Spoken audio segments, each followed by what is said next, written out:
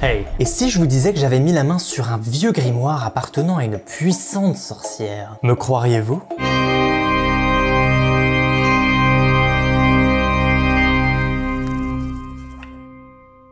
On voit ça tout de suite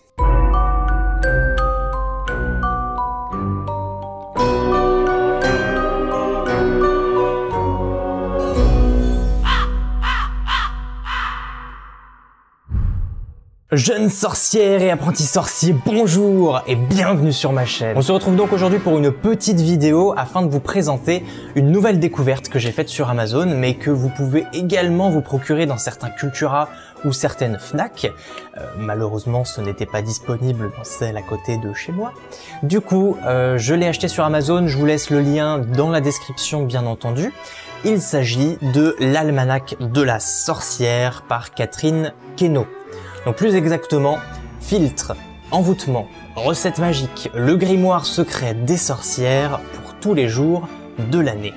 Car oui, effectivement, vous verrez que chaque page représente un jour de l'année. Donc euh, il y a minimum 365 pages et plus exactement 413 pages de pure magie. Il existe sur le commerce plusieurs almanachs dans le domaine de la sorcellerie. Ici, c'est l'almanach de la sorcière, à ne pas confondre avec l'almanach des sorcières dont je vous parlerai une fois que je l'aurai acheté, dont ils font régulièrement des rééditions parce qu'il est fourni avec un petit calendrier planétaire qui du coup change chaque année. Euh, donc là, c'est pas le même. Celui-là, donc il a été écrit, donc je suppose par une française, il me semble bien. Ce qui, ce qui est étrange justement et ce qui donne le côté un petit peu mystérieux, c'est qu'il n'y a aucune note sur l'auteur dans le livre. Pas de bibliographie, il n'y a pas de, il n'y a pas grand chose en fait. On a juste, euh, comme d'habitude, euh, le petit copyright dépôt légal de, de, l'éditeur. Mais sinon, on a, on a rien du tout sur l'auteur du livre. Donc le mystère reste entier. Hmm, ça c'est 4 ça. Bref. Bon déjà, dans un premier temps, on est vraiment sur une couverture rigide, donc bien épaisse, assez euh, assez stylisée, donc euh, dans les tons rouges, comme ça, ça fait assez ancien grimoire, avec un, un pentacle juste là. Le, la quatrième de couverture, bon, assez intéressante, ça résume à peu près ce qui se passe en vous disant que c'est tout un tas de recettes, de sortilèges... Euh, sur 400 pages pour devenir une parfaite sorcière. Il n'est qu'à 19,95€ pour le moment, donc je trouve ça vachement euh, pas cher pour un, pour un livre de, de ce gabarit-là, pavé comme ça, et puis surtout aussi bien illustré. Vous allez voir que euh, c'est vraiment son point fort c'est qu'on a des gravures euh, partout, il n'y a pas deux fois le même dessin, c'est plus ou moins en plus cohérent avec les textes qu'il y a autour, donc je trouve ça super intéressant. En tant qu'objet de collection, c'est un must à avoir si vous vous intéressez un petit peu à la magie, à la sorcellerie, à, tout ce qui est un peu occulte. Sur la tranche, du coup, euh, on a bien sûr le titre du livre, le nom de l'auteur, et on a un petit euh, juste là. Donc ça, ça, rend le ça rend le livre un petit peu plus un petit peu plus glauque, un petit peu plus sombre, un petit peu plus euh, presque presque satanique. Hein voilà. Donc ensuite, comment est découpé le livre Donc on a l'intérieur de la couverture qui est juste magnifique, donc c'est le même dessin qu'on retrouve également à la, fin hein, du, livre. Ensuite, on a une petite introduction par rapport aux sorcières. Puis, euh, du coup, les mois, à chaque fois, on commence avec une double page. Donc là, comme par exemple par rapport à janvier, on a une espèce de petite mini-citation. Donc janvier, mieux vaut chien enragé que chaud soleil en janvier. Et puis après, on a vraiment tout un texte sur le mois de janvier, sur ce que ça représentait pour euh, pour les sorcières, euh, la fleur du mois, l'animal du mois, l'oiseau du mois, le métal du mois, le gris-gris du mois, logiquement, la pierre du mois et l'arbre du mois. Donc c'est comme ça pour tous les mois de l'année. Puis généralement, on a du coup une page par jour. Donc là, bon, c'est un cas assez exceptionnel. Je vous montre un cas un petit peu plus parlant. Là, par exemple, avec le 3 janvier ou le 4 même. Donc on a une page complète pour le 3, une page complète pour le 4, avec à chaque fois des gravures, des dessins. Euh, au niveau de la mise en page, c'est vachement bien fait. Souvent, quand il y a quand il y a des formes un peu plus circulaires, ils nous font des ils nous font de belles présentations comme, euh, comme, le mois de mars par exemple où on a, on a le, cercle qui est bien incrusté dans le texte ici. Donc c'est vraiment la mise en page, elle est juste superbe.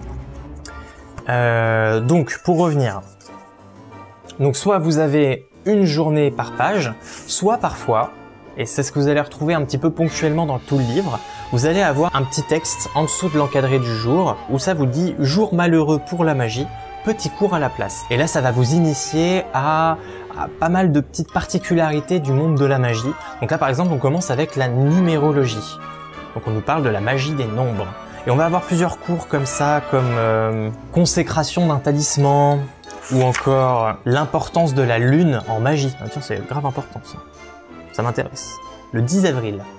Ou encore le plan astral, le fait de pouvoir se déplacer dans ses rêves. Enfin bref, à chaque fois vous allez avoir donc soit euh, un encadré spécial pour le jour, donc qui couvre vraiment une page entière, soit une demi-page pour la journée, et puis un cours assez intéressant sur un domaine occulte lié à la sorcellerie, à la magie, euh, voilà tout cet univers un peu euh, un peu sombre. On retrouve également très souvent une page complète pour les signes du zodiaque lorsque euh, lorsqu'on passe euh, euh, le jour qui nous fait passer d'un signe à l'autre. Donc là par exemple juste avant le 19 février, donc entre le 18 et le 19, alors vous n'êtes plus verso mais vous êtes poisson, qui va donc vous donner la planète associée, le métal associé, la pierre, l'animal, ou les animaux hein, bien sûr, les couleurs, l'encens du, du, du signe, le parfum, les plantes, l'huile, le talisman, et puis la fumigation magique. Alors qu'est-ce que c'est Pour obtenir... Ah oui d'accord, c'est par rapport aux bougies. Et puis bien entendu, à chaque fois qu'une fête païenne est célébrée, on va avoir un sabbat. Par exemple, et là c'est vraiment l'exemple le plus concret, le sabbat de sa main, donc Halloween, qui couvre bah, une page, euh, plus d'une page et demie, parce que là ça, le jour du 31 en soi, il passe, il passe presque inaperçu à côté du sabbat entier de sa main, qui est en plus suivi d'une magnifique gravure en double page juste après. Finalement, ce que j'ai oublié de vous dire, c'est par rapport à ce qui se passe chaque jour, donc chaque jour normaux, les jours qui couvrent une page entière. Généralement, on va avoir le génie du jour, Parfois, on va avoir le saint, euh, en particulier lorsque ce saint a eu une importance euh, euh, spécifique dans l'histoire des sorcières. On va avoir également un petit, un petit texte, en tout cas une petite liste, jour de chance, donc c'est-à-dire toutes les choses qui sont favorables ce jour-là. Par exemple, hein, c'est tout bête, pour acheter ou vendre une voiture, une machine ou l'électroménager, pour semer des plantes euh, qui poussent sous terre, pour la récolte de cultures en surface, euh, parfois c'est pour le soin des cheveux, parfois c'est pour les travaux manuels. En gros, ça vous dit en quoi cette journée est favorable ce qui va un petit peu vous aiguiller et vous dire ah bah tiens aujourd'hui peut-être qu'il faudrait que ou euh, on va, peut-être éviter de, de faire ça plutôt que ça. Par exemple, ce qui est sympa avec ce livre, c'est que vous pouvez aller voir au niveau de votre date de naissance, donc le jour où vous êtes né, qu'est-ce qui était favorable, quel était le saint ou le, génie du jour, les parfums qui correspondent à votre anniversaire, euh, quelle est la recette du jour, ou regardez même les images associées et essayez d'y voir des, correspondances avec votre vie, avec euh, avec votre personnalité, ça peut être ça peut être rigolo. Moi, par exemple, j'ai appris que mes parfums c'était l'aubépine, la rose et la mandarine.